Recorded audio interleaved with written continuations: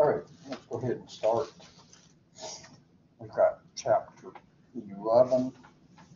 This week, actually, we should get it done today.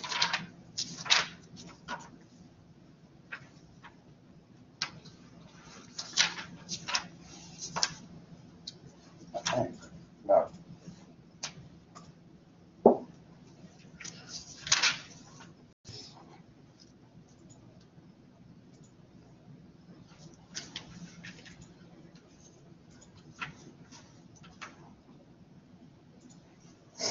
It's got more in it than I thought it had in it. I thought some of this was in a different one. Okay. So subnetting, probably will do that on Wednesday. Just the last part of the chapter.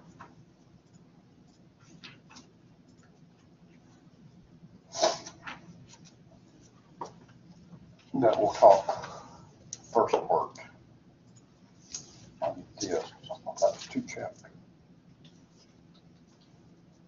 Okay, I thought that was two different chapters.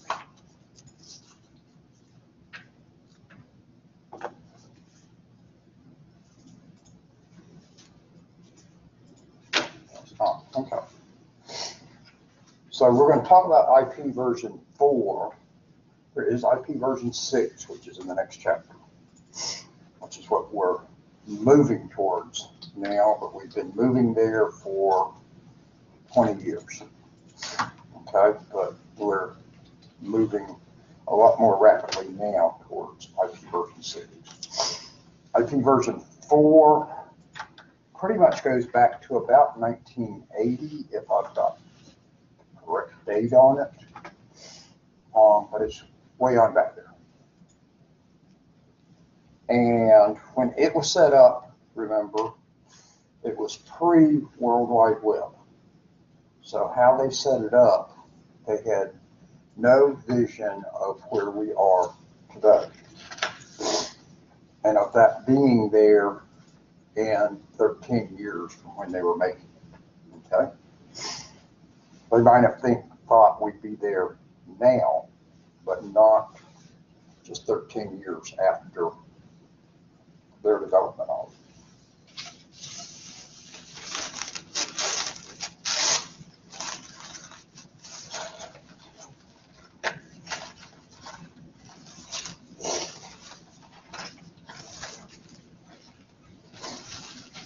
And spring is starting to bother my sinuses. Which usually by this week, I've already had a real bad sinus attack. Because last year, last week, I was really bad off with a sinus attack. Um, because I was in North Carolina at a conference and it was, I was hurting during that. And it sounded rough and everything else. And people were concerned whether they had COVID.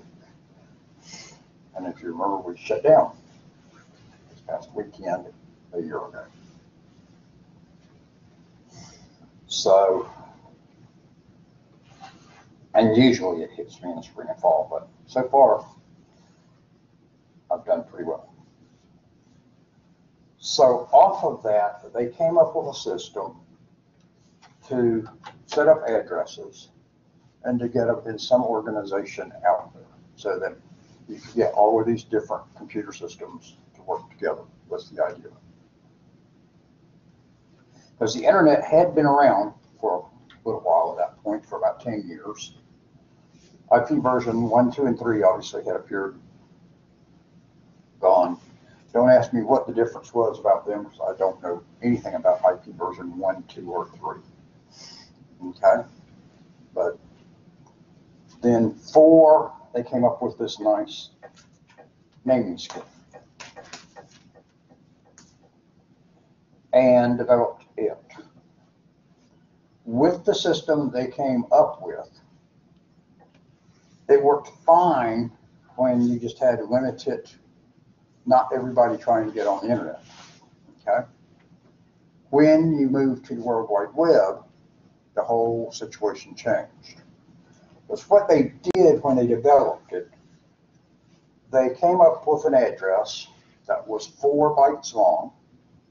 They put them in octets, is what they called it, and still call it. You've got octets there. Um, so they were each one byte long, and then they expressed it in decimal numbers.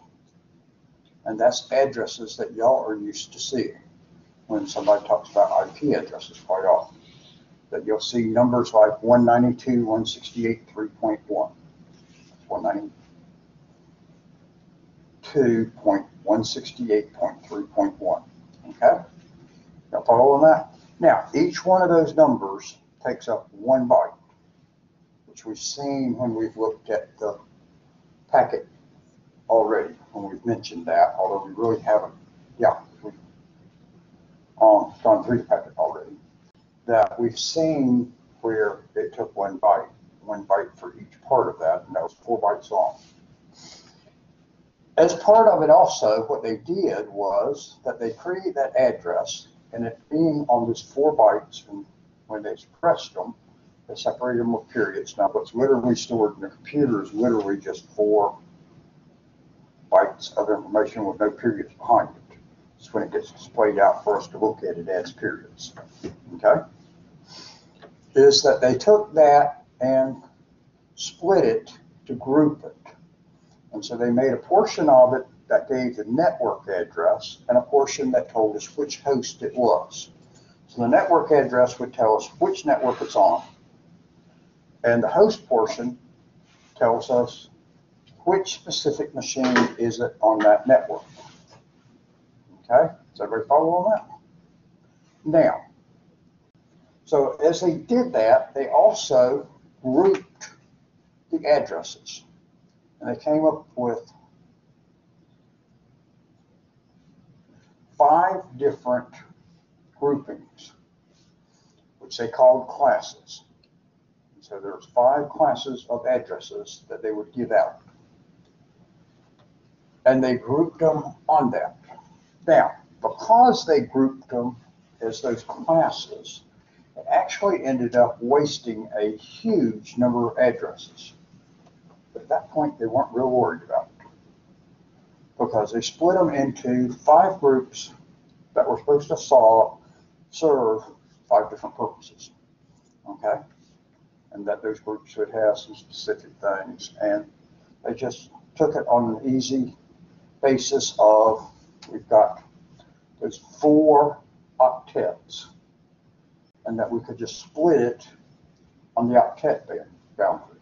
So depending on what class you were in, you could actually tell according to that when you knew which class they were in, that told you which part of that address is the host portion, which part's the network portion. So as a part of that, they did also, so they came up with classes A, B, C, D, and E.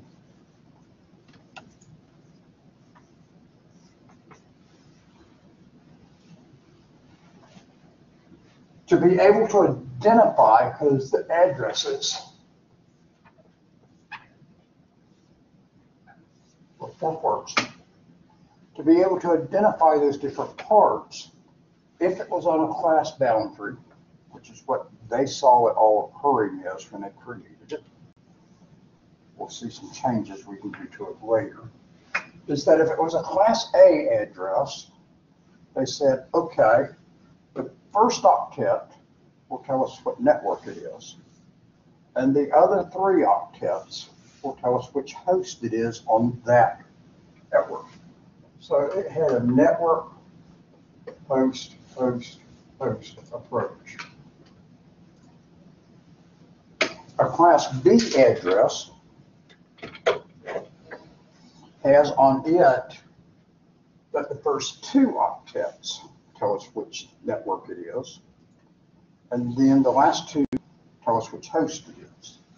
So in that case, it's a network point, network point, host point, host.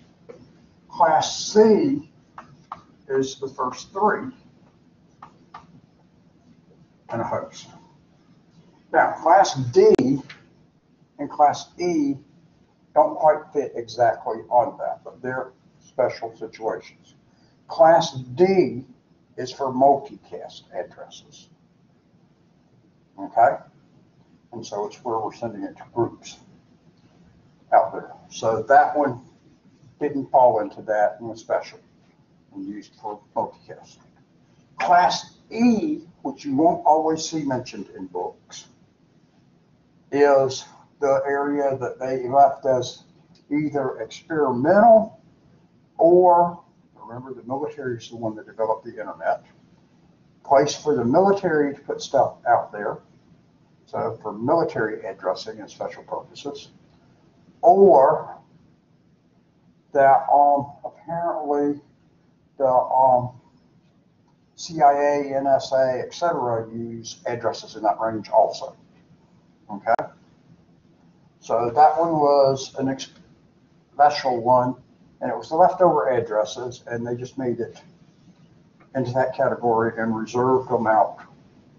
Partly to be doing experiments to figure out better ways to work with the internet, and also for the military to do their correspondence on, which included intelligence work.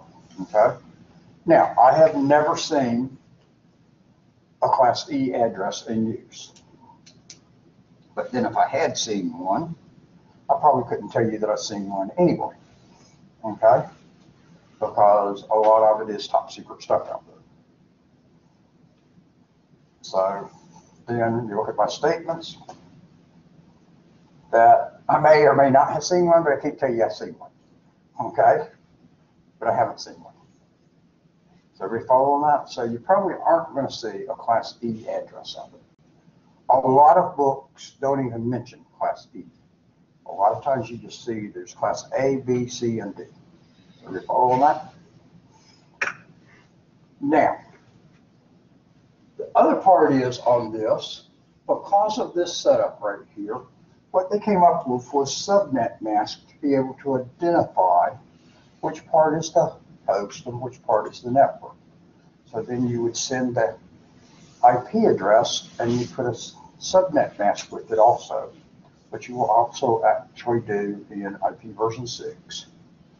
IP version 6 is not going to have addresses, have classes like that, okay? Though it will have some grouping, but it's not going to have classes as such, okay? But it does have several things reserved out there. So subnet mask, what it shows is it tells you what part of the address is the network portion and which part is the host portion. Now, what it does, what you do with it is, in the network portion of the address, you put binary ones. In the host portion, you put binary zeros. So a subnet mask always starts with binary ones and it always ends with binary zeros. Everybody follow on that? Now, the question is, how many of each of those is there in there? Because then you can use the subnet mask laid with the IP address and you'll be able to identify how much is the network portion and how much of it is the host portion. That works from the original concept on completely class-based out there where you were classful addresses to today where we now don't follow exactly on these rules, but we can extend it some on over. So what looks like host portion here, nowadays network portion can go into the host portion. The network could borrow bits in the host portion. Okay, and that's what the last half of the chapter gets into. So, under the original concept there of purely class addresses, the subnet mask for class A was 255.0.0.0. 255, remember back when we covered binary addresses in our conversion, if we convert one byte of all ones to a decimal number, we're going to get 255. Because that's eight binary numbers. Everybody follow on that? So one in the ones, twos, fours, eights, sixteen, thirty-two, sixty-fours, and one twenty-eights. Okay? So that's where the two fifty-five comes from. And then in the other three bytes where it's just host, it's just zeros. So in that case, there's twenty-four zeros sitting there. Okay? Now, you will see it also expressed nowadays in shorthand fashion, where they'll just stick it on the end of the address with a slash and the number of bits. That's the network portion. And actually, IP version six is going to use that approach also. Okay? It's not going to use this long hand portion. However, if you go to program root Cisco routers, unlike which we did in the previous chapter, or switches, and we're going to put the IP address in. You have to put the subnet mask in also, as y'all know by now. But you have to do it in longhand format. So you have to do it in this format. Okay? You can't do it in this. Although they will tell you a lot of times what it is in this format, in the shorthand. But when you go to enter it, you have to enter it longhand. For B, it would be 255 dot 255 dot 0 dot 0 forward slash 16. C would be 255 dot 255 255 dot 0 forward slash 24. And remember, there's 32 bits in there. So whatever you got as a slash tells you, if you just subtract that from 32, tells you how many bits you got there for the host. Okay? So that's the subnet mask. And all we're going to do is take an address and weigh it against the subnet mask, and that will then tell us what portion of it is the network portion and what portion is the host portion. And you quite often will have a question asking you. That may appear on a test, may appear on a certification test. That's going to give you an address.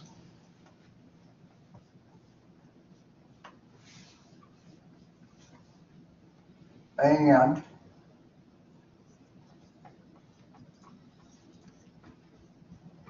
the subnet mask. And ask you what is the network address for that address. And that one, what would it be?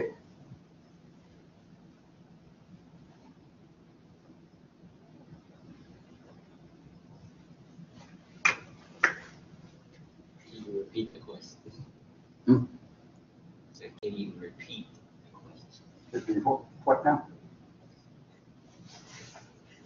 I said, can you repeat the question, please? The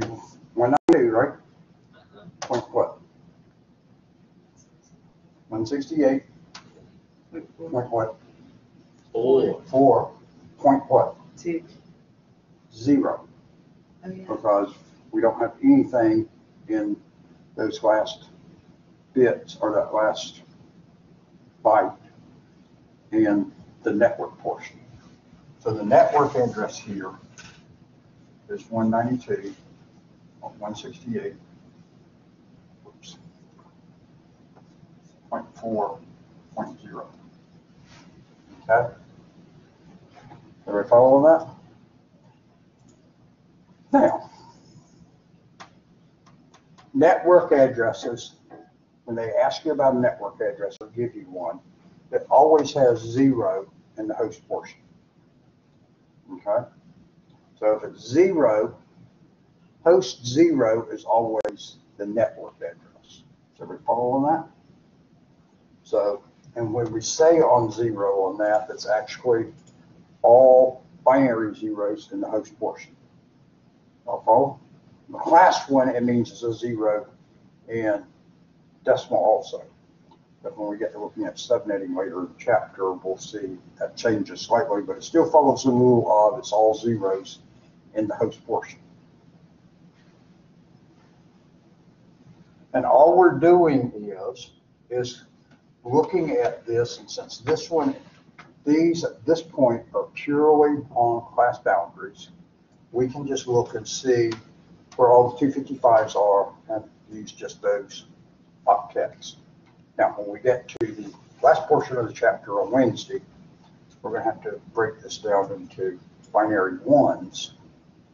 At least where we start having different numbers in 255, first part of B two fifty-five, so we don't have to break them down, we know that part is. But then when we get to different, we'll have to break it down into binary ones to see exactly where the line is. And break that into binary ones also, and then we can switch it down and then put it back into decimal. The other address is that we'll have broadcast address. So the network one is always all binary zero area. It's always all binary zero. In the host. Okay? On the network address. There's a broadcast address also reserved out there. And that is where we have all ones. That's binary ones. In the host. Okay? So in this case, where we're looking at that we've got an address of one ninety-two, one sixty-eight point four point zero. That is one ninety-two, one sixty-eight point four is the network portion. Point zero is the network address. The broadcast address in this case would be one ninety-two point one sixty-eight point four point two fifty-five. And if it has that address on there, because it's a broadcast one, that means that that has an address. And that would only be on a destination, it would not be on a source. That, that's to go to every machine. So when each machine gets it, they'll look at it and go, oh, that belongs to me. And every one of them say, it belongs to me. Y'all follow on that? So if you want to send a message to every node on your network, you put all binary ones in the host portion, or in the case of this, doing on a class basis, we put two fifty-five there, okay? That's that part now. So the subnet is just a way to pull it out. Right now, pretty much in the first part of the chapter, we're looking at it that two fifty-fives in the subnet you know, that is the network portion. If it's zeros, that's the host portion. I'll follow? Now, in the second part of the chapter, we're going to complicate that some. We're going to come up with some other numbers. Now, when I got to MCSE, which is Microsoft's, what was their top networking certification, now they don't have one anymore.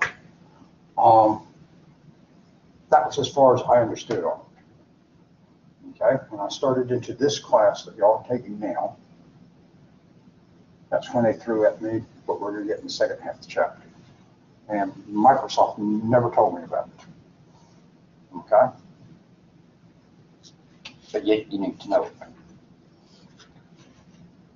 So I have described to you the prefixes and the subnet masks. Okay? Now, they go through in the chapter to determine the network portion and the host portion of the address compared to the subnet mask. They go through and do logical AND, they spend a page or two on that. Okay? About a page and a half explaining that one too. That's not the system I use to figure out what's the network portion of that address and what's the host portion. Okay? In the first case, at the point where they're at right now, you really don't need it.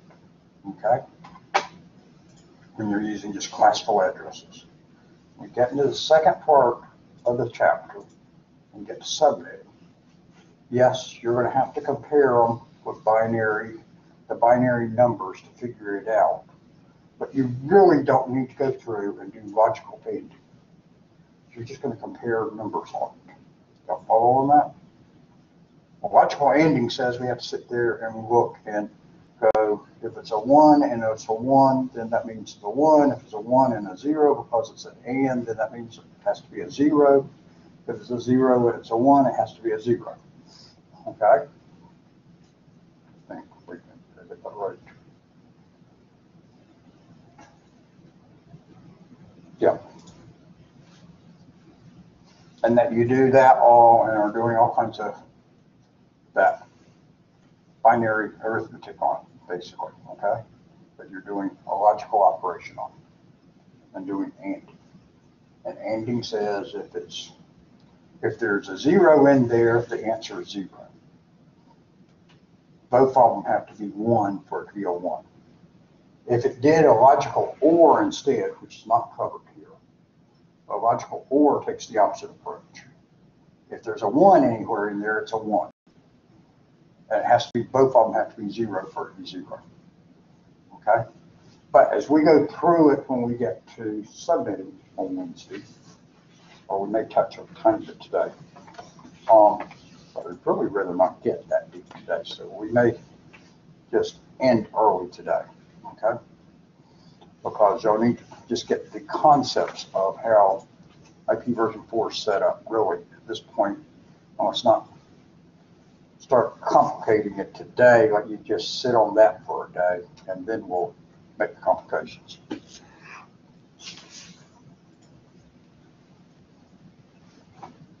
But when we're looking at the whole ones, the easiest thing to do is look at the subnet mask, and as long as it's purely on class boundaries, where it just has two fifty-fives and zeros in the subnet mask, all you have to do is look and see, all right, columns that have, or bytes that have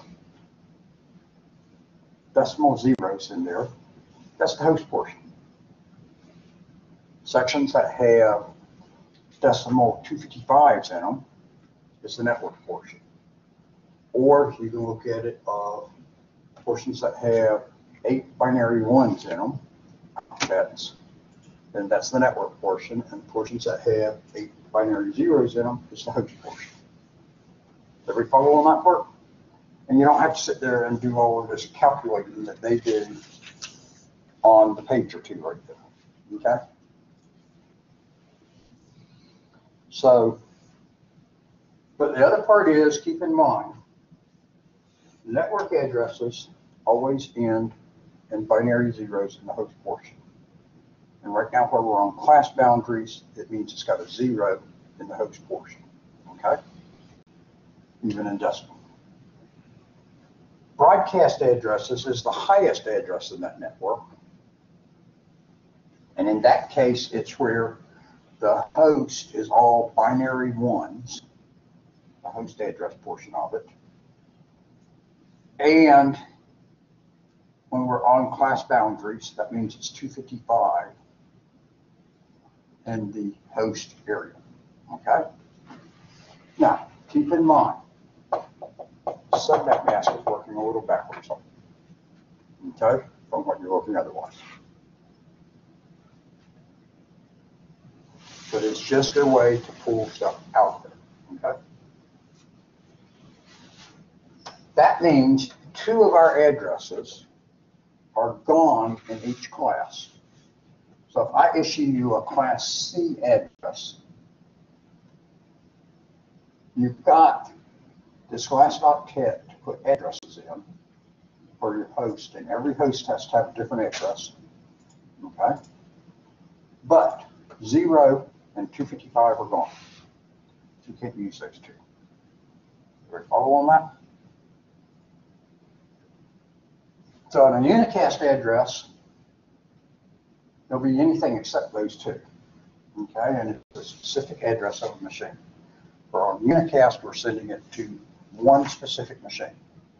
So a unicast address has a specific machine's address, which is what you do most of the time. Okay? This you're sending it to one device. A broadcast address, where we said it's all binary ones in the host or 255 in the host, you're on the class. And that's where you're sending a message that goes to every machine on your network. Okay? There is a lot of stuff that occurs out there internally in the network that is broadcast. Okay? DHCP, and we talked about it already. Okay? To get an address for your computer. Instead of you having assigned to your machine, that you're keeping them centrally on a server and sharing them out. So you don't have to have as many addresses. You only have to have as many addresses as you'll have machines turned on at any point. Okay? Also means that you don't have to go out and manage and remember which one's assigned to each machine. And if somebody comes in and messes with the address, as soon as it's turned off and turned on, it straightens itself back out. Okay? Um, and it assigns other information with you also. However, what DHCP does is the first message when that machine's turned on, so Nathaniel turns on his machine, the first thing it does, because actually it is using DHCP in here, it sends a request out. It does not know where the DHCP server is. Doesn't know what its address is. All it knows is it's been set up with automatic addressing. And it goes, okay, that means I need a DHCP server to give me an address. It does not know what the address of that server is. So what's the only thing it can do? It's got to send a broadcast. It can't send a unicast message out. It doesn't know the address. It sends a broadcast and says, this is a DHCP message requesting an address. and sends it. And any DHCP server on the network then responds to it. Normally, you got one DHCP server on your network. You can have more than one. That's the second thing on why it's got to be a broadcaster, okay? That you really wouldn't want to build in there if you could the address of the DHCP server because that could change. The DHCP server then replies back and says, okay, I've got an address to offer you. What kind of message is it going to have to send back? Unicast or broadcast? Hmm? Unicast? Is it unicast? Can it send a unicast address back offering an address for that machine to use? Does it know the address of that machine? No. So the only thing it can do is broadcast it back out because it doesn't know where this is going. Okay?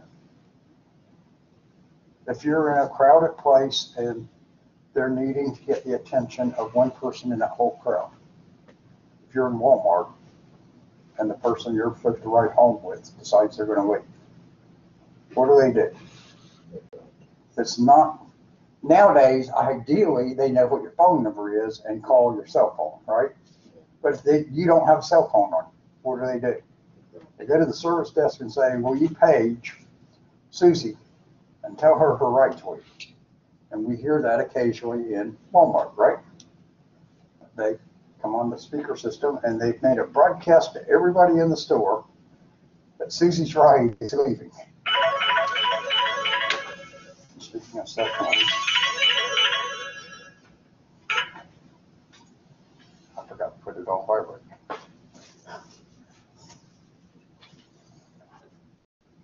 So it's a broadcast at that point, okay? So that's all a broadcast is, okay? You don't know, you send it to everybody, not just to one person. So when announcements go over the PA, that's a broadcast out there, okay? Um, versus if they call you and tell you the message, that's been a unicast, okay? And that one was probably a broadcast message, actually, because I didn't recognize the number on it. More than likely, it was telling me that they think my car warranty's expired, and they've been trying to contact me. I did have fun with them one day. I went ahead and went to talk to him. And told him I was interested in getting one. And what kind of car have you got? And how many miles have you got? It was a two thousand one Saturn, and it's got seven hundred and ninety thousand miles on it. What did he say again? Two thousand one Saturn, seven hundred and ninety thousand miles. And I didn't get any further than that, and all I heard was click.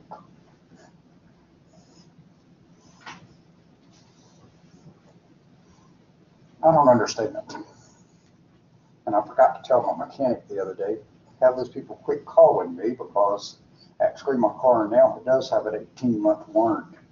An eighteen month warranty on the motor, because they just replaced the motor in it. The replacement motor actually comes with an eighteen month unlimited mileage warranty. So actually that car does have a warranty on it now. Um,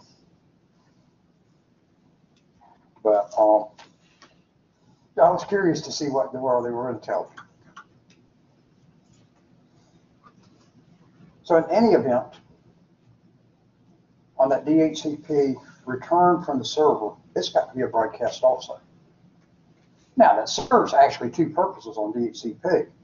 One is the machine that needs an address gets the message. Okay? Second one is every other machine sees the message also. And if by chance some machine is using that address for some reason, somebody put it into it instead of letting it use DHCP, it will respond and tell the DHCP server, no, you can't use that address. I'm already using it. Because you can't have two machines with the same address on your network. Okay? So broadcasts do get used out there. The devices regularly send messages back and forth to each other. If you remember where we've already seen mentioned that the devices are out there talking in the background. Not stuff that we're sending across, but just talking to each other to figure out where they all are. And that they're continuously telling each other information about the different devices all hooked up which makes it work faster when we go to send something because then they know where to send it. They know, does that machine exist or not exist? Okay? So the majority of your network traffic's not stuff being sent across that people are wanting to use. It's actually the machines just talking with themselves. And think about your own talking, your own communication. How much of your communication is it that you're not doing about spreading information or taking, listening to your instructor or taking the test, but where you're doing other things to fulfill yourself better or things that you need to know at home. That you sit there and talk to yourself at times. Okay? There's nothing wrong with that. And that goes on all the time, right? And that you're continuously thinking of different things. And it might be how, when you get on that game the next time, what are you going to do next time you play it, okay? And that you're not telling anybody that, but you're communicating that back and forth with yourself. So you're running a continuous thinking. Or you're driving down the road and you're monitoring everything that's happening out there on the road. But you're not telling anybody else in the car, if there's other people in the car with you, exactly everything you see occurring. Now, something really unusual occurs, yeah, you do tell everybody else about it, okay? But most things, you're observing it and you're processing it in your brain and taking appropriate action. Okay? But when somebody, something else really crazy happens out there or whatever, yeah, you share that one. But most of it you don't. You just react and keep on going. And just put it in your mind, all right, that car just did something a little odd, so keep that in the back of your mind as you continue following it, expecting that when something else is going to happen, going, they're not going to do what I would normally expect them to do, so I got to be prepared for that one. And that way we keep ourselves out of accidents. Because there's a lot of dumb drivers out there on the road. So those happen all the time out there. So DHCP starts off with broadcast and it finishes up with a directed unicast message. Because then when the machine chooses to use it, that then both machines know who they are, so they don't have to broadcast everybody. Multicast has the advantage of, we can send one message out that goes to a number of machines. Streaming is a good example of multicast.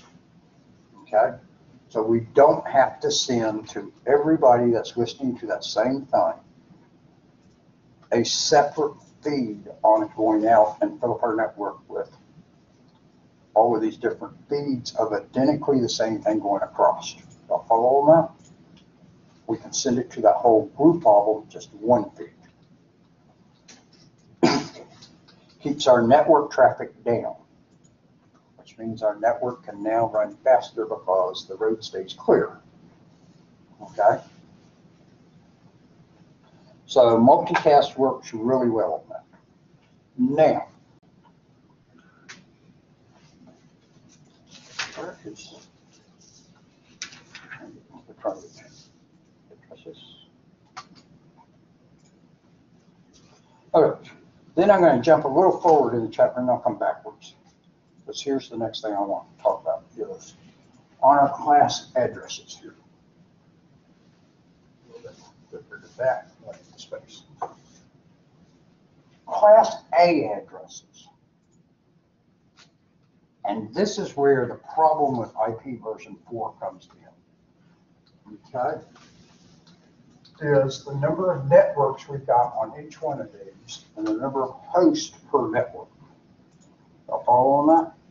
So back when we were running purely a normal IP version four as it was designed on class basis, which was up till the late nineties, they issued you a class A, B, or C address that gave you so many network, so many hosts that you could put on your network. So if you wanted to put a, a network out there onto the internet, you apply to one of those regional authorities, which I showed you in the bulletin. In America, you apply to ARIN, A-R-I-N, which is the American Registry for Internet Numbers. Other parts of the world got other groups that issue it, and they all work together under a central authority. And they issued you one address, a network address, okay? And then that gave you that many hosts that they gave, of type of address they gave you. So one of your items you had to put in was, how many host addresses were you needing? And they issued a class A, B, or C. Class A had hundred and twenty-eight possible networks. So there's only hundred and twenty-eight organizations in the world that get a class A address. Okay? And actually, that's wrong. It's possible that it was 128, but it actually turns out that the designers of the system cut that down to 127. Okay, that is a slash 127. You'll see it mentioned both ways sometimes. Book went with 128. Okay? That gave you, for number of hosts on each one of those networks, because they had three bytes here. And remember, it's going to go to, if you're going on bits to convert on it, that gets to 128. Then there's 256, 512, 1024, so on up through 24 bits. Y'all follow on that? Y'all see where those numbers climb astronomically. That gave you 16 million host addresses. And you really only need to remember 16 million. The book tells you with the exact number of 16,777,214. But any test I've ever seen, as long as you know it was 16 million, you're in good shape. They may give you the exact number, but they're never going to ask you about 15 million 999 versus 16 million 200. seven hundred and seventy-seven thousand, two hundred and fourteen.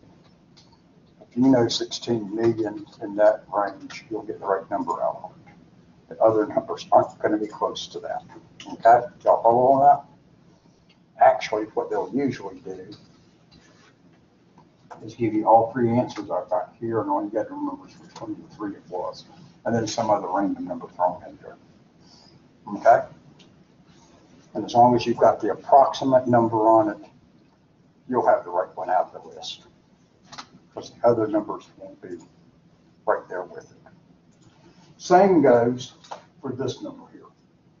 Whether it's one twenty-eight or one twenty-seven, if it's got one twenty-eight or it's got one twenty-seven as your answers, you'll go with that one.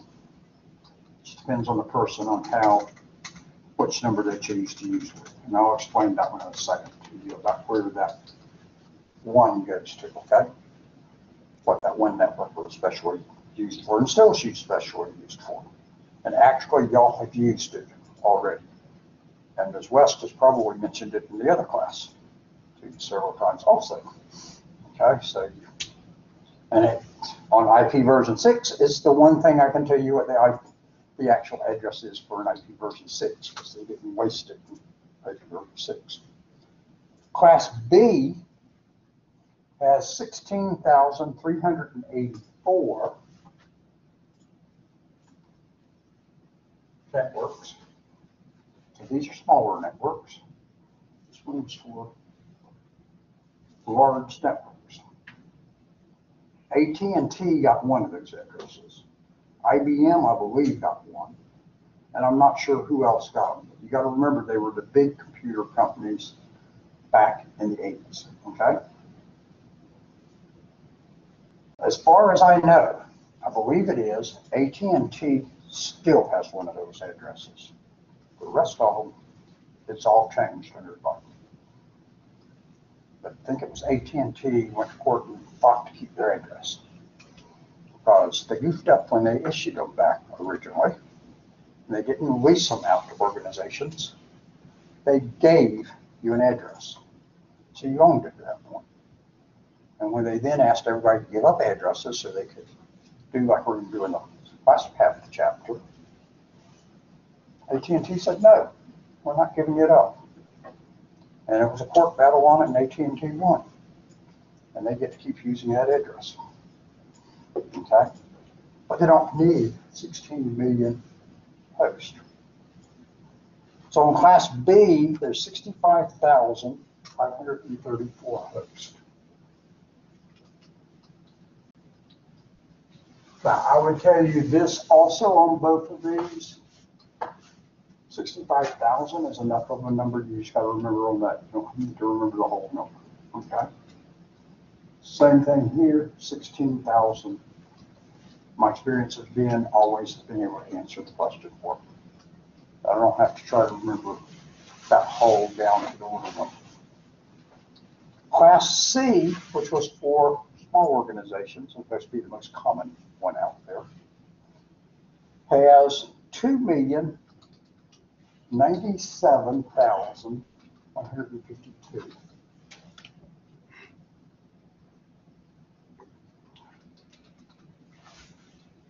And Two million is all I remember on it.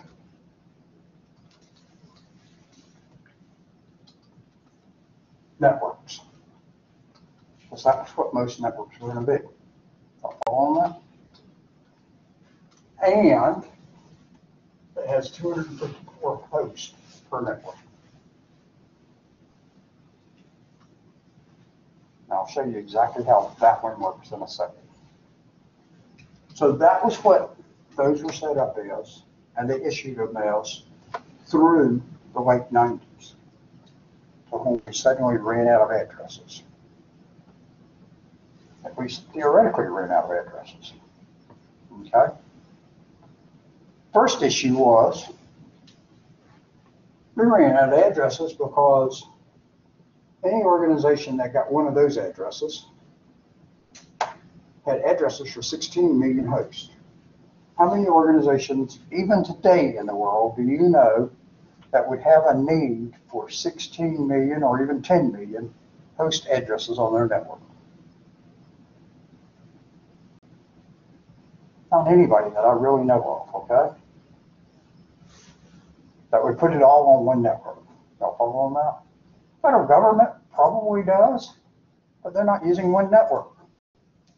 Each of the departments of the federal government's got their own network, and agencies within it got their own network. They're not all sitting on one massive network. Y'all follow on that? So, huge amount of waste there. If your network did have more than sixty-five thousand five hundred and thirty-four hosts on it, guess what? If your network only has sixty-five thousand five hundred and thirty-five hosts on it, what did you have to get? A Class A address with sixteen million addresses. Now, does that sound like a very efficient use of addressing? Not really. And your smallest one has 254 hosts on it. Now, keep in mind today, we've got networks everywhere. You've got a network at home, and there is a network address assigned to you. If you're connected to an ISP and have internet, you've actually got a network address there. Now they give you a partial one, but you got issued a network address.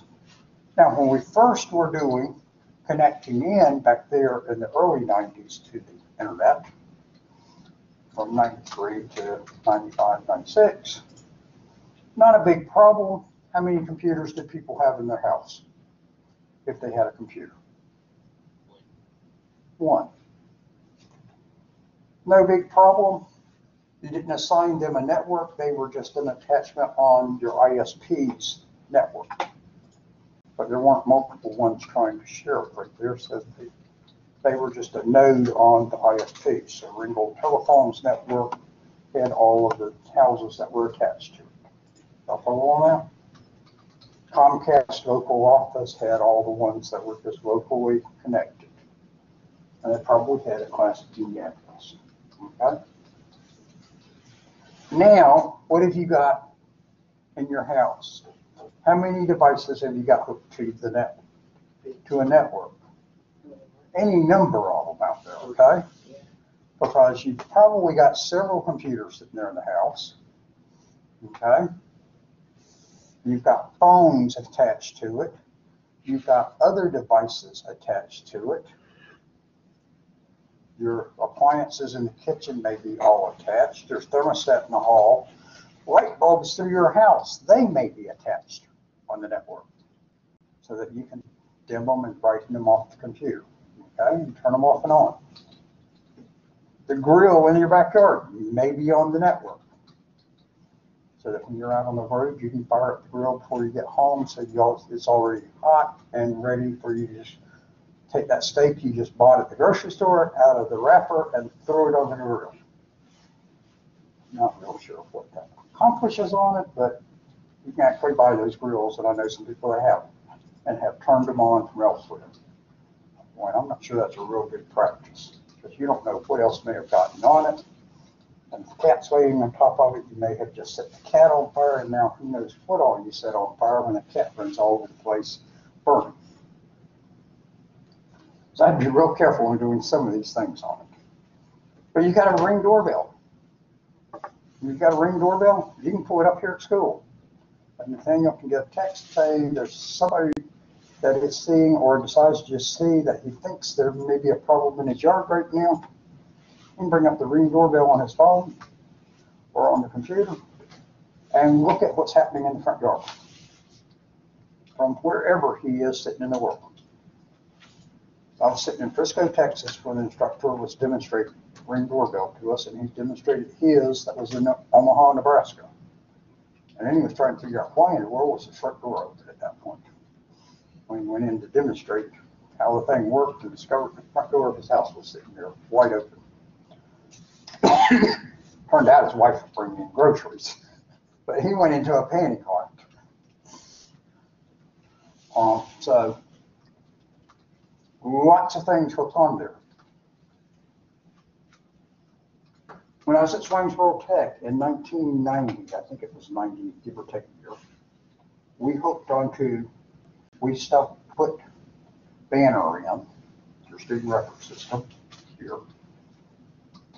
And it was attaching all of the tech schools together and through the central, to the central office in Atlanta, using the internet. Pre-World Wide Web, so hardly anybody was using. So they gave, all of us got, all of us got a network address. There at the school, we were handed a Class C address.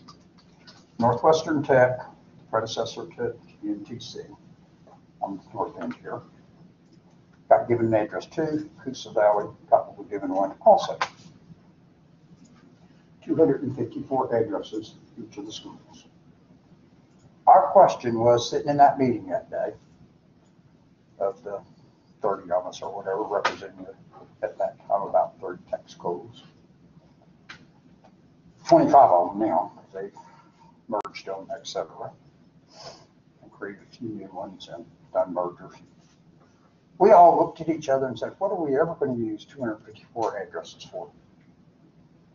Because the only use we saw for them was our machine in our office, one or two machines in the front office of the school, and maybe another one, and one or two machines for some students to get on and see what the internet is. And what were we ever going to use? And maybe the forward-thinking schools are going, well, it'd be really nice to hook up all the machines in one computer lab to the internet so the students could go in there of a whole class and see how they could go out on the internet and find things. That's before web pages, okay?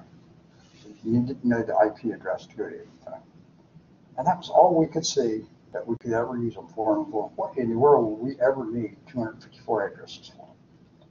By the time 1996 rolled around, the issue was, what are we going to do now? Because now we've got every faculty member with an IP address on their machine. And we're setting up labs all over the place with IP addresses. So if we go through this building right here, just this campus, and this is a small campus. And we're gonna have more than two hundred fifty-four addresses used right here. We may even use more than two hundred fifty-four addresses on this one floor.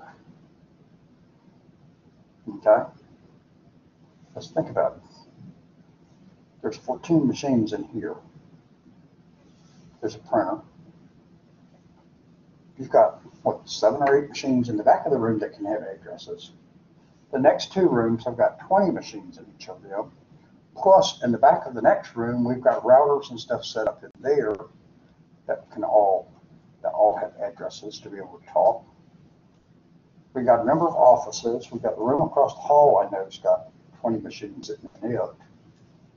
Well, if you add it up real quick right there, we're already approaching hundred machines and we haven't even gotten halfway down the hall yet. Y'all see what I'm saying? The other thing is, all of us have got a cell phone sitting in our pocket. You know I've got one now, um, because we had ring a few minutes ago. And they're almost all connected to the internet too, and that we've connected to the school's internet, so it gave us an address. And we're using a school IP address on our phone. And who knows how many students we've got scattered down the hall right now. Well, right now, probably y'all have maybe one other class at best, but I don't even think there's any others down the hall. But in normal times, we may have four classes of people sitting down the hall too, right? And you can see where that doesn't work very well. But from the home place, you may have just two or three things at home on there. Or you may have a whole bunch of things on there. Probably most of us have only got four or five items at home that are connected to the network. Okay? So if we go like visit Bill Gates, his whole house is all IP addressed all through it.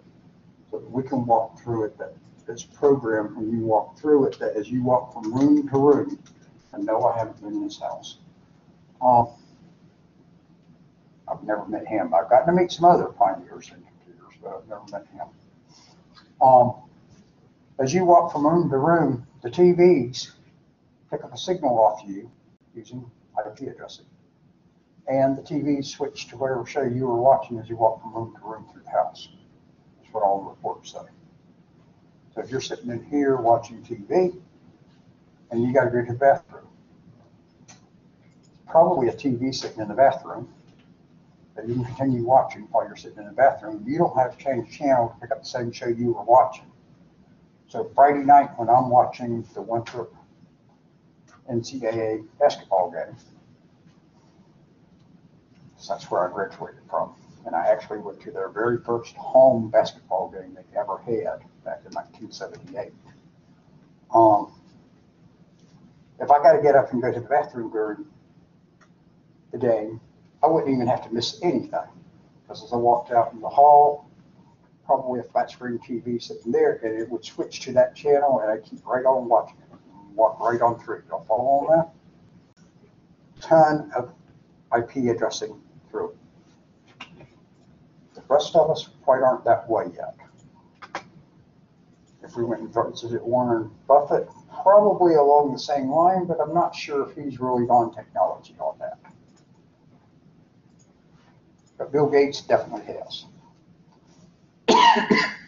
Paul Allen's widow and Steve Jobs' widow, definitely. It's gonna be the same thing, okay? Um, Wozniak, I'm quite sure would be the same one. The other guy that founded Apple was Steve Jobs.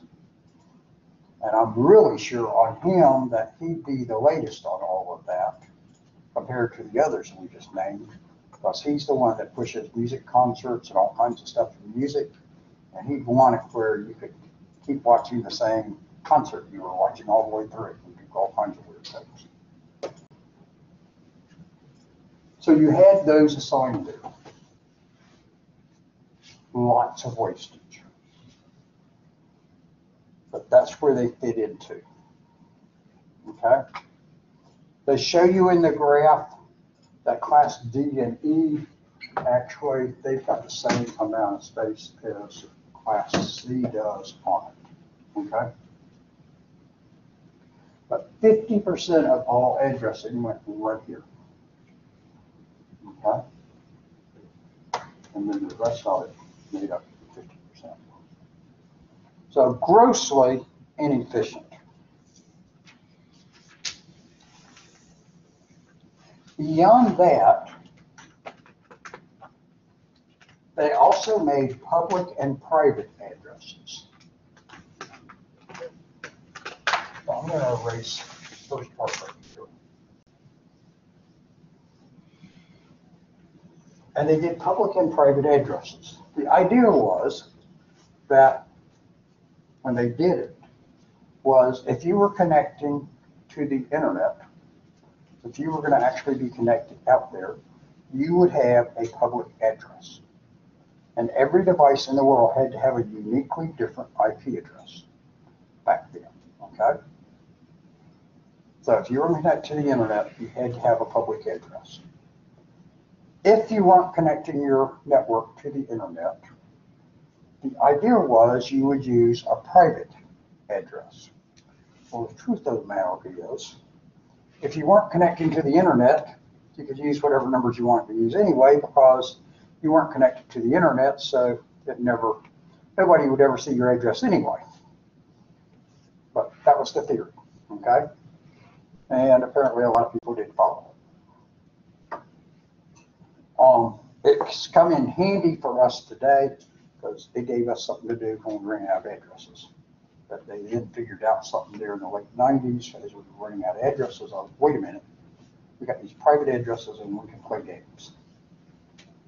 So, Class A for private addresses, for public addresses, first thing, public and private.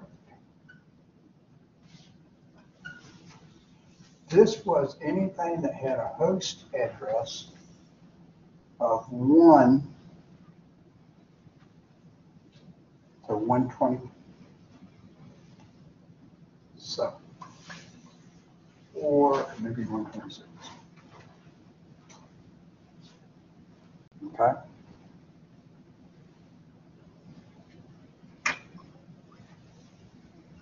private addresses had to come out of that range, so they pulled one thing out of that range. Anything that starts with ten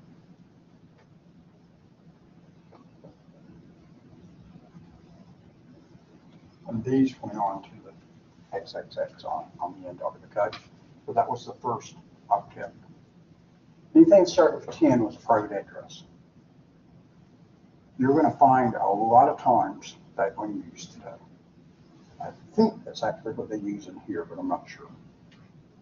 Class B would be any addresses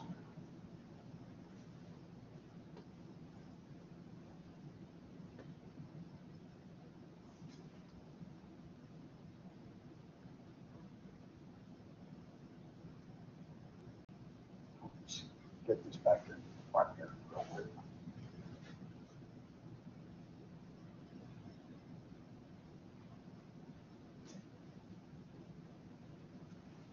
Those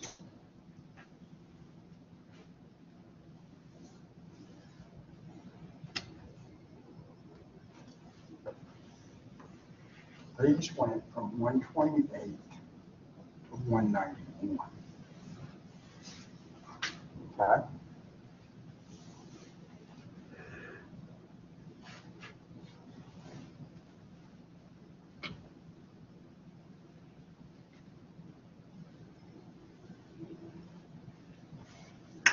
these went from here to 127.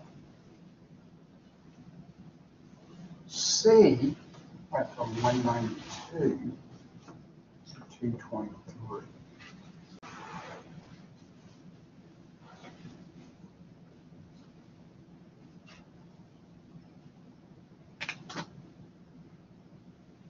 So in binary, this one started with a 1 1 one, one, zero, and then the rest of the bytes, bits. This one started with one, zero, and the rest of the bits. This one started zero, and the rest of the bits. Class D actually starts with one, one, one, and a zero, rest of the so it goes from two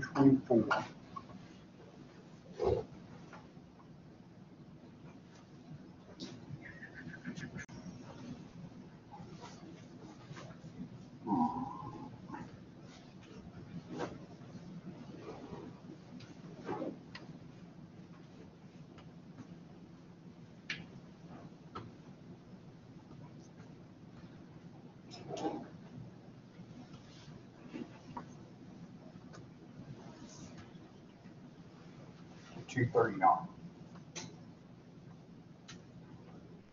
And this one will go two thirty-nine to two fifty-four. It starts at one, one, one, one, zero. Okay? But that's where these numbers are coming from, is that they did it from binary, because when you look at these numbers, if you're like me, they didn't tell me about this part. Just gave me this list of numbers. I'm going, where in the world did you come up with those numbers from? And for the longest time, I didn't know. I just had to memorize those numbers. Now, for the private addresses, B uses one seventy-two point sixteen point XX through one seventy-two point thirty-one XX. That's gonna be the hard one to remember. Just got a range of numbers. Biggest part to remember on though is if you remember the one seventy-two, you're usually safe. Okay? Ten for A, one seventy-two for B. And C is one ninety-two point one sixty-eight.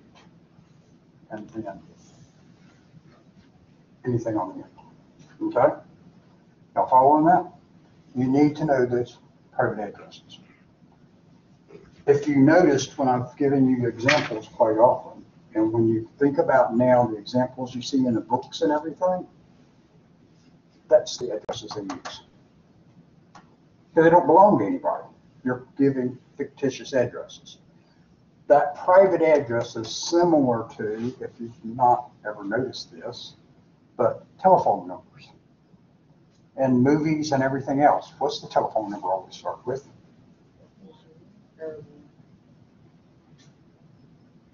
Four two three? Hmm? The four two three phone? What three numbers does it start with? Whatever the area. code. Five five five.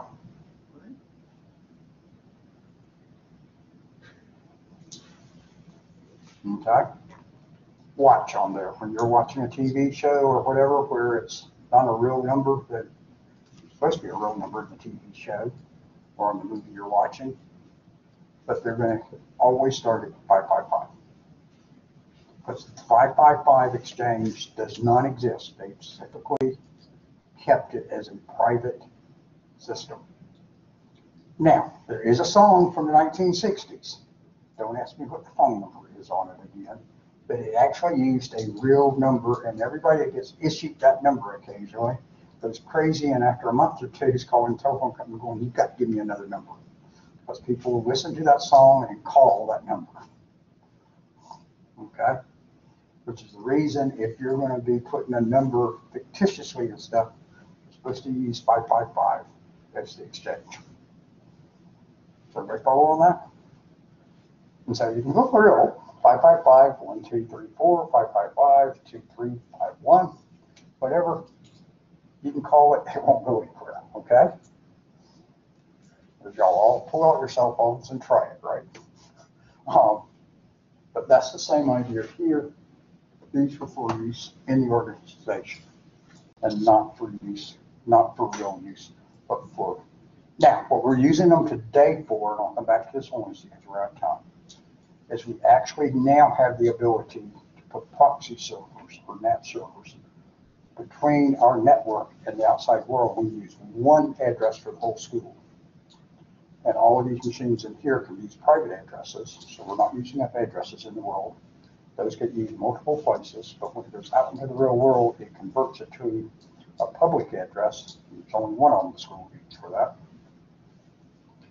And gets sent out and then comes back, if it's converted back to the correct private address, it goes to the correct machine. Freed up a whole lot of addresses. Everybody follow on that? Y'all get the idea? So we really got through to where subnetting starts.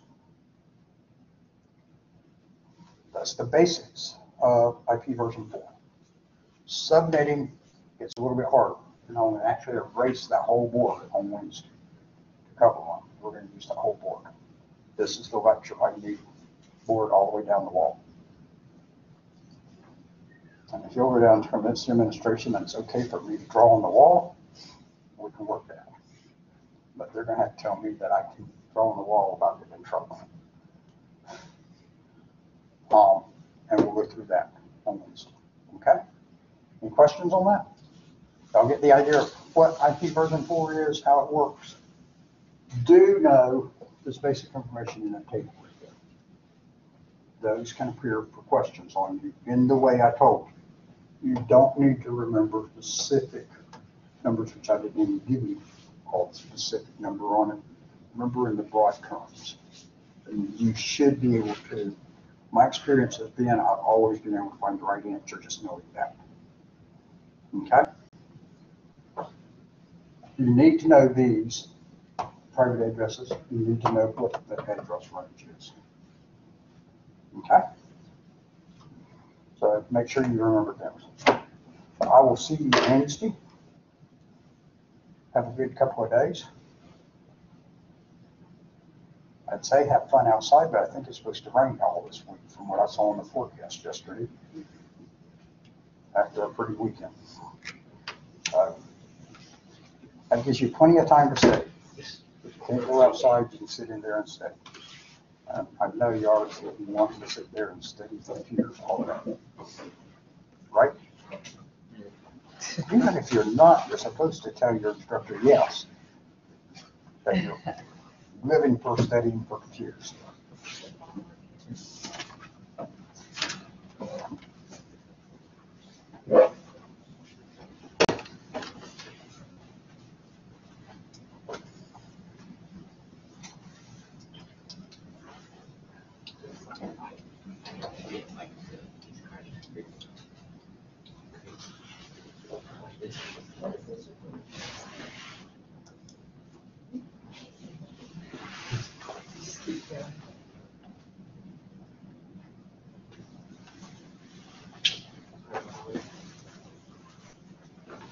I gotta go back and look and see or close, I this, sure I got the here. Which I think I did, I should have, because you came in before I marked attendance, no one. Okay. Because I marked attendance after I started this and you were already Yeah. here when I got this finished working.